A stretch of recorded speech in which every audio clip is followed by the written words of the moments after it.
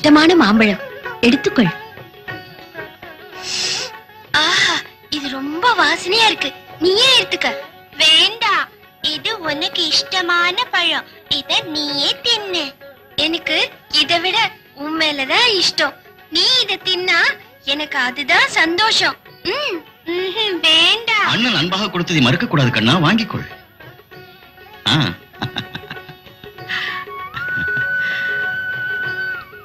ராமலட்சுமணர்கள் சகோதர பாசத்தை நான் கதையிலே கேட்டேன். இங்கே பிரத்யட்சமாக பார்க்கிறேன். வயசுக்கு மிஞ்சிய அறிவு அளவுக்கு மிஞ்சிய அன்பு நம் மணிகண்டனுக்கு. அவன் தெய்வ மகன் தேவி. அவன் நமக்கு கிடைத்தது பெரும் பாக்கியம். அதனால் நம் கடமைகளை மறக்க வேண்டாம். மணிகண்டனை குருகுலத்தில் சேர்க்க வேண்டும். சிறந்த மகா ஞானியான ஸ்ரீ கிருஷ்ணனையே தாய் தந்தையர் குருகுலத்தில் சேர்த்தார்களே அது தெரியும் தானே அந்த எண்ணம் எனக்கு இல்லை என்று நினைத்தாயா தேவி? ஆச்சாரியரை அழைத்து வர காலையிலேயே சேவகரை குருகுலத்துக்கு அனுப்பிவிட்டேன். நாராயண. நாராயண. நாராயண. நாரதரே உங்களைத்தான் நினைத்துக் கொண்டிருந்தேன். என்னையா? ஆச்சரியமா இருக்கிறதே. அனுதினமும் அரம்பையர் ஆனந்த நாட்டியத்தில் மைமறக்க வேண்டிய இந்திரனுக்கு இந்த நாரத முடியதற்கு வஜ்ராயுதத்திலும் கடுமையாய் இருக்கிறதே உங்கள் வாக்கு. என் வேதனை எனக்கு. வேதனையா? நாராயணா வேதனை ஏன் இந்திரா இன்னும் என்ன வேண்டும்? மணிகண்டன் பட்டாபிஷேகத்திற்கு எல்லா ஏற்பாடுகளும் நடக்கிறதே அது போதாதா? நாராயணா ராட்சசரை கொல்வதற்காக பிறந்த ஸ்ரீராமச்சந்திரனுக்கு பட்டாபிஷேகம் முடிந்ததா? இல்லை. இதுவும் அப்படித்தான். ஹரிஹர புத்திரன் பிறந்திருப்பதே மகிழ்ச்சியை கொள்வதற்கு பட்டாபிஷேகம் பண்ணிக்கொண்டு ராஜ்யம் ஆளுவதற்கல்ல. முடிவு என்னவென்று நீயே பார். மகாராணி அவர்களுக்கு வணக்கம். உட்காருங்கள். என்ன விஷயம்? ஆ, தங்கள் சேடியர் சற்று வெளியே இருந்தால் நல்லது. அதனால் என்ன? ம். சொல்லுங்கள். அது மகாராஜா மணிகண்டனுக்கு இளவரசு பட்டாபிஷேகம் செய்ய விரும்புகிறார். மிகவும் சந்தோஷம். சந்தோஷமா? ஐயோ கடவுளே சங்கடப்பட வேண்டிய விஷயத்தில் சந்தோஷப்படுகிறீர்களே. மந்திரியாரே என்ன சொல்லுகிறீர்? சிந்திக்க வேண்டும் தாயே நான் சொல்வதை சிந்திக்க வேண்டும். மணிகண்டன் யார்? உங்கள் வயிற்றில் உதித்த மகனா? அல்ல. ராஜவம்சத்தவனா அல்ல. தந்தை தாய் யாரோ தெரியாதவன். அடர்ந்த காட்டில் அனாதையாய் பிறந்தவன். எந்த காட்டு மனிதன் மகனோ? நிறுத்துங்கள் உங்கள் வீண் பேச்சை. மணிகண்டன் யாரானாலும் கடவுள் நமக்கு தந்த வரப்பிரசாதம் அவன். ஐயோ தாயே எப்படி சொல்லுவது நான்? அரசியார் மனசுக்கு ஆலகாலமும் அமுதாய் தெரிகிறது. ஆத்திரமின்றி நிதானமாய் யோசியுங்கள். உமக்கு ஒரு மகன் இருக்கிறான். உமது சொந்த கருவின் உரு. சதா உண்மையே நினைத்திருப்பவன். உமது வாரிசு அவன்.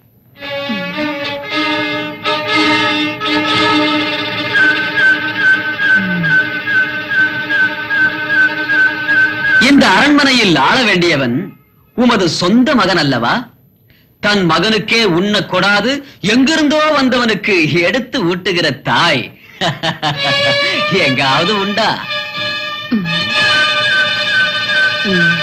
நான் ஒரு மந்திரி. அரசர் நலம் அரசாங்க நன்மையே என் லட்சியம். யார் தவறு செய்தாலும் நல்ல யோசனைகளை வழங்கி சரியான வழிமுறைகளை கூறுவது என் கடமை அல்லவா அதனால் தான் சொல்கிறேன். தாங்கள் பெற்ற மகனுக்கே அநியாயம் பண்ண வேண்டாம். இதுதான் என் கோரிக்கை. அது சரி. மணிகண்டன் பட்டாபிஷேகத்தை எப்படி தடுப்பது? அதற்கு நான் இல்லையா? நான் சொல்கிறபடி நீங்கள் செய்தால் போதும். என்ன?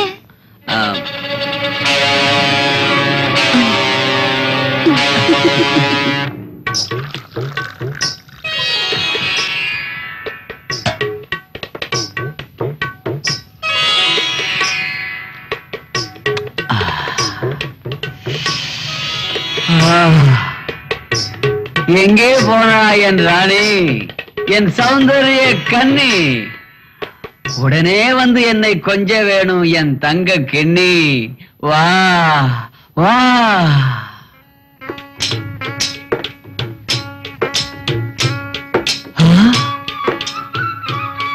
மகனி இதென்ன அலங்கோலம் இனிமே என்ன? இத்தனை வருஷமா உங்களையே நம்பிக்கிட்டு இருந்ததுக்கு எங்க அக்காவுக்கு நான் கொடுத்த காவி துணி.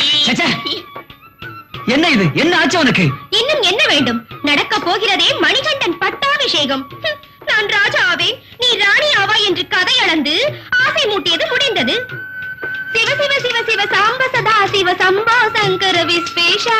அரகர அரகர மந்திர தந்திர மந்திரி தொண்டை கரகர. அக கரகர அக கரகர அக மூடவே! மாதவி வா உள்ளே? நீங்கள் அழைக்கிற நேரத்தில் உள்ளே வருவதற்கு நீங்கள் என்னை விலைக்கு வாங்கவில்லை. மாதவி என் மானத்தை கெடுக்காதே. வா உள்ளே. எப்போது நீங்கள் கொடுத்த வாக்கை நிறைவேற்றவில்லையோ? அப்பவே உங்க மனம் பறந்து போச்சு வாயை மூட அதிக பிரசங்கி. ஐயோ என் சௌந்தரிய ராணி. ராமாயண கதை தெரியும் அல்லவா? தசரத மகாராஜா ஸ்ரீ ராமச்சந்திரனுக்கு பட்டாபிஷேகம் என்றாரே. அது நடந்ததா? இல்லை. ஏன் நடக்கவில்லை சொல்? மந்தரையின் சூழ்ச்சி அது. இங்கேயும் அதேதான். இந்த மந்திரி உள்ள போது மணிகண்டனுக்கு பட்டாபிஷேகம் எங்கே நடக்க முடியும்? அவனுக்கு வனவாசம் நம் இருவருக்கும். மலர் மஞ்சம்.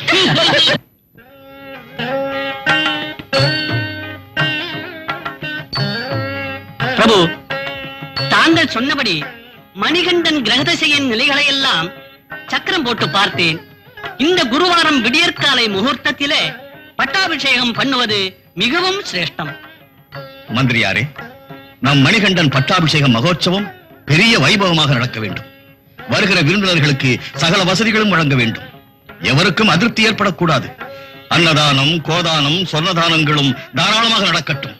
வந்தவரெல்லாம் மனமகிழ்ந்து நம்மை வாழ்த்த வேண்டும். உங்களுக்கு அந்த கவலையே வேண்டாம் பிரபு. எல்லாம் உங்கள் மன நிறைவாகவே நடைபெறும்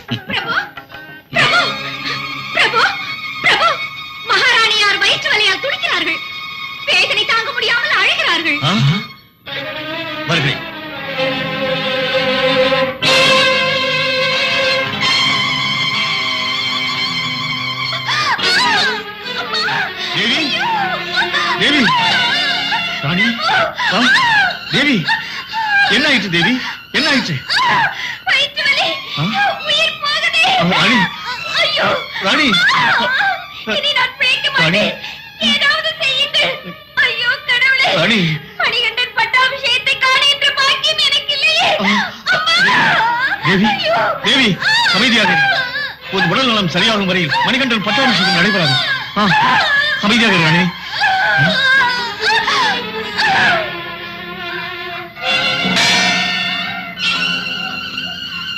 அரண்மனை வைத்தியரை உடனே வரச்சோம் உத்தரவு பிரபு.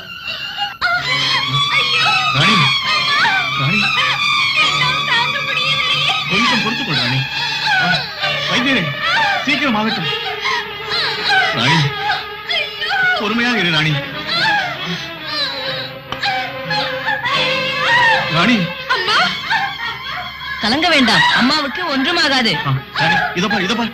கொஞ்சம் குடி இதை குடி. ஆ, ஆ, ஆ, ஆ, அஞ்ச வேண்டாம். நாம் நம்புகிற கடவுள் ஒரு நாளும் நம்மை கைவிடுவதில்லை. அம்மா வயிற்று வலி விரைவில் குணமாவதற்கு அந்த பரமனையே பிரார்த்திக்கலாம்.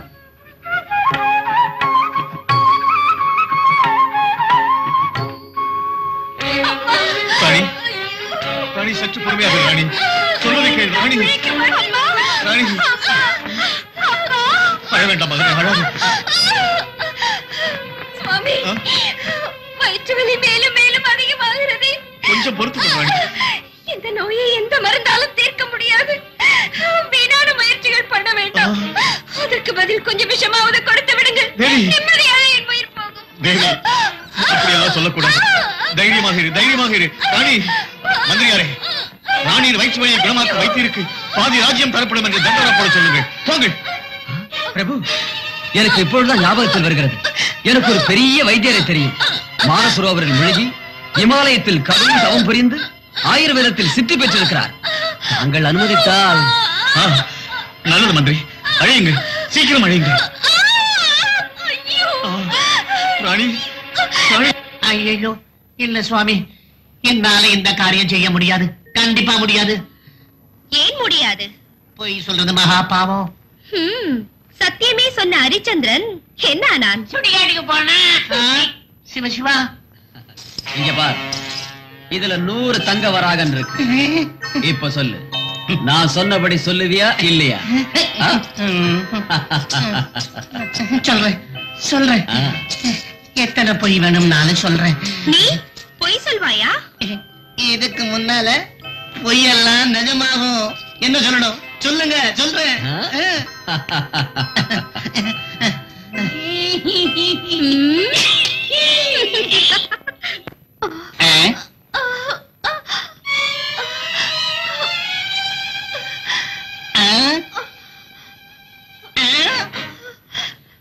சிவசிவா தன்வந்திரி அருள்புரி தன்வந்திரி அருள்புரி. வைத்தியரே இது என்ன நோய்? அசுர குலத்தின் சூளை நோய். நரமார்க்கம் சாப்பிடுகிற ராட்சசருக்கு வருகிற வயிற்று நோய். இதற்கு மருந்து? என்னிடம் இருக்கிறது. இமயத்திலிருந்து கொண்டு வந்த அஸ்வினி மூலிகை. அதை சாப்பிட்டாலே போதும். எந்த கொடிய சூளையானாலும் சரி கணப்பொழுதிலே குணமாகிவிடும். அதை உடனே கொடுங்கள் வைத்தியரே. தர முடியாதே பிரபு. ஏன்? அந்த மூலிகையை அரைத்து புலியின் பாலிலே கரைத்து குடிக்க வேண்டும். புலியின் பாலா? அது கிடைக்காவிட்டால் கிடைக்காதென்றால் ஏதும் பிரயோஜனமில்லை. மந்திரியாரே இதற்கு என்ன பண்ணுவது? எனக்கே புரியவில்லை மகாபிரபு. காட்டுக்கு போகிறவர் யார்? புதிதாக குட்டி போட்ட புலியை தேடுகிறவர் யார்? அந்த புலியிடமிருந்து பாலை கறப்பவர் யார்? ஐயோ கடவுளே இதற்கு நான் என்ன பண்ணுவேன்? என்ன பண்ணுவேன்?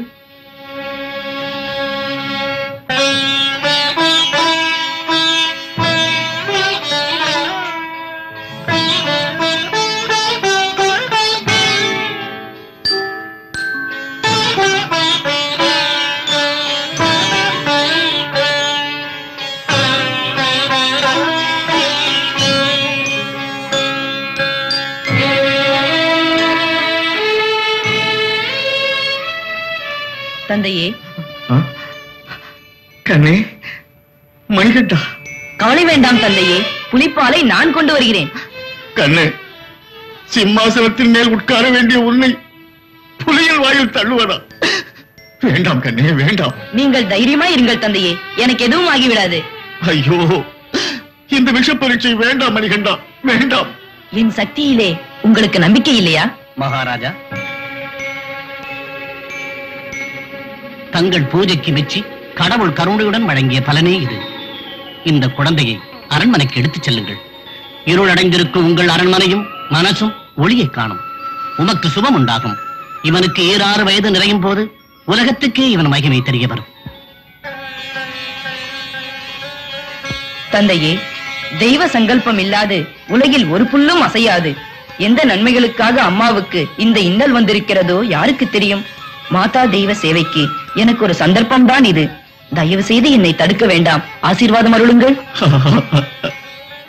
கண்ணு மணிகண்டா மணிகண்டா மணிகண்டா.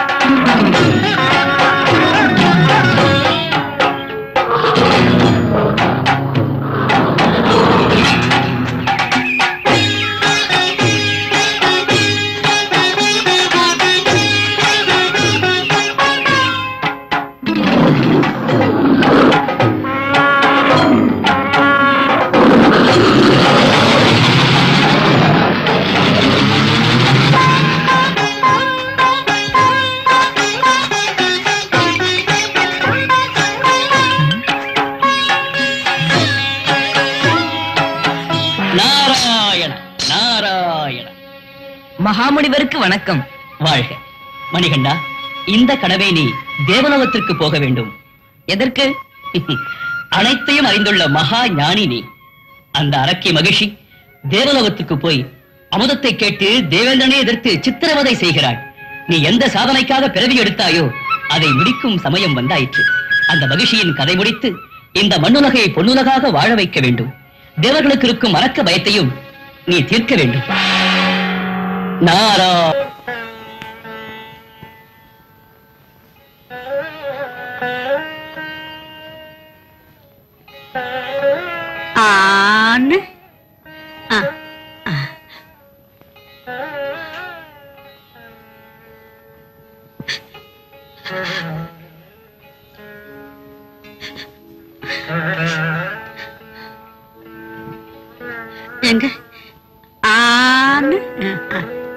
மாலதி மகாராஜா ராஜசேகரிடமிருந்து அழைப்பு வந்திருக்கிறது. எதற்கு?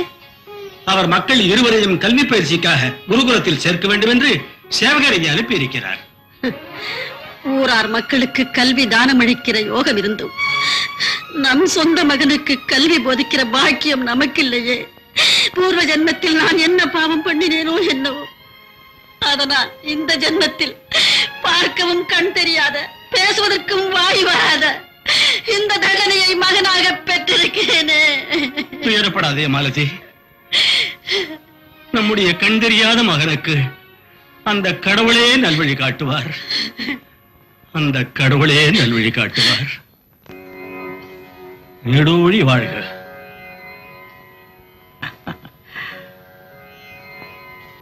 குருதேவா எங்கள் இரண்டு பிள்ளைகளையும் தங்கள் ஆசிரமத்தில் சேர்த்துக் கொள்ள வேண்டும். இனிமேல் இவர்களுக்கு தாய் தந்தை குரு தெய்வம் எல்லாம் நீங்களே. தயவு பண்ணி என் குழந்தைகளுக்கு கல்விதானம் அருள வேண்டும். அது என் பாக்கியம். மகாராஜா இவர்களுக்கு கல்வி போதிக்கும் பொறுப்பு என்னுடையது. குழந்தைகளே. நெடோழி வாழ்க.